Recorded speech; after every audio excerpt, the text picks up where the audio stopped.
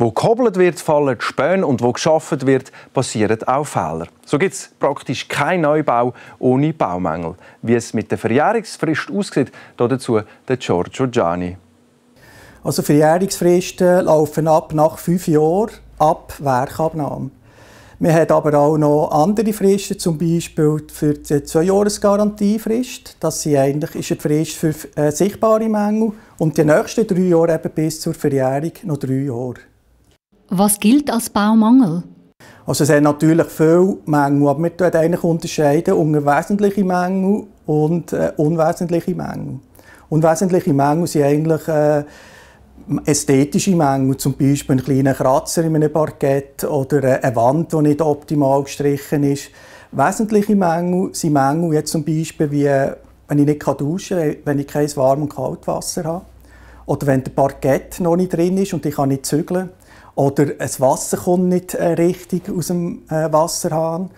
Oder ich habe Fenster, die total undicht sind und einfach nicht drin wohnen kann. Also Wesentliche Mängel kann ich nicht drin wohnen, unwesentliche Mängel, ästhetische Mängel. Auf was sollte man als Laie achten, wenn man sein Objekt abnimmt? Das Problem ist, dass ein Laie schaut einfach nicht immer dort her, wo er eigentlich sollte.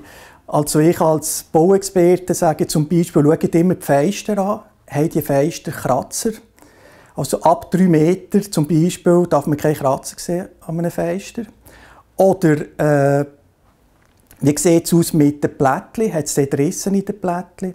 Oder die Möbel, zum Beispiel das Lavabo, ist dort ein Riss unter dem Lavabo, wo man nicht sieht. Also das sind alles so kleine verdeckte Mängel oder schon sichtbar, aber man schaut vielleicht nicht her. Und sehr wichtig ist, eine Wohnung muss eben geputzt sein, als man gewisse Mängel auch sieht. Wenn es viele Mängel hat, kann man verlangen, dass die Übergabe vertagt wird und man sich weigert, einzuziehen. Also eine Übergabe kann nur vertagt werden, wenn man wirklich nicht drin wohnen kann. Also das heisst, wenn ich nicht mein Bett herstellen kann, wenn ich nicht duschen kann, wenn ich nicht baden kann, wenn ich nicht kochen kann. Sobald ich aber drin leben kann, auch mit Mängeln, zum Beispiel, auch zum Beispiel die Decke, die vielleicht abtropft und unten einen Kübel her kann, heisst das noch nicht, dass ich nicht einzügeln kann. Also wirklich, eine Wohnung muss wirklich nicht bewohnbar sein. Also zum Beispiel, wenn die Fenster fehlen und einfach durchziehen im Winter, dann ist sie sicher nicht bewohnbar. Und ansonsten schon.